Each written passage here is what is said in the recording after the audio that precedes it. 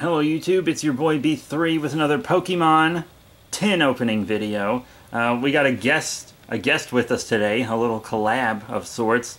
Uh, an infamous Twitch streamer. Infamous is a bit too much, don't you think? How, how about you give him your Twitch handle? hey, I'm Scrub. Uh, if you want to watch my stream, go to twitch.tv forward slash scrub underscore GXD. I'll link it in the description. So just check out the description for his Twitch. Yeah. And today we are opening uh, another Celebi Venusaur Tag Team tin. Uh, this is actually his tin. Uh, he needed Yeah. he needed some cards and a good deck to play with online. If you still want, I'm still willing to trade you a physical deck for two of the packs in this uh, in this tin. I got you. If you're into that, Maybe. well, I you should don't know yet. you should probably Yeah. decide before we open them. Fucking open it. All right, so you got your incredibly powerful Oh, yeah. full art promo Tag Team GX. yeah. who's like way too strong. Just a wee bit. Buddy. You know, I was just telling him about what it does. We already went over it in the last video for this, but uh, you also get a metal GX counter. So if you want to use it in a deck physically, because you can only use one GX move uh, per game, so you flip it over after you use your GX move. Oh. Yeah, it's pretty cool. But the Very fact that they give you a metal one is really nice. Oh, yeah. Yeah. I made a GX deck just so I could use it. Holy shit. Hey. Yeah, and they just they plug that into the back now. They used to like pinch Wait. them in, Yeah. and uh, that would damage the card, so now they plug them in.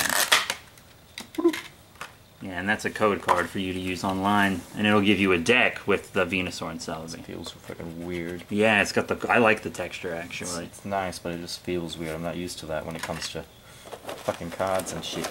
Yeah, so you should get two from the team up set, and then you have an XY Evolutions and Forbidden Light. And Evolutions is mostly just a reprint of the base set of the game. Hmm. It's not very good. Evolutions kind of sucks. Here, let me show you how to. Let me show you how to do the, the trick. Do it. Here, just point that at me. So you, you, you pull these out, and uh, the code card actually, you're gonna have something good in this pack because the code card's white. Okay, cool. So you take three off the front, and since this is a sun and moon pack, that means you have an energy on the back. Sorcery. See, now this is this is what you've got. So here, here you here you go. You can flip through those. So you'll probably have a hollow or better. Torracat, Kabuto, Nidorino, Proceed, Pidgeotto, fucking Charmander That's some cute art, yeah.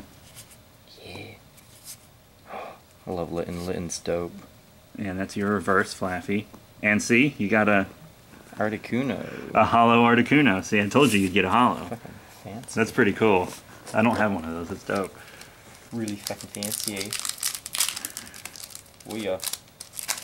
Oh, eh, fuck it. I don't know how I'm doing this shit. See, now you got a green back, which means you don't have anything.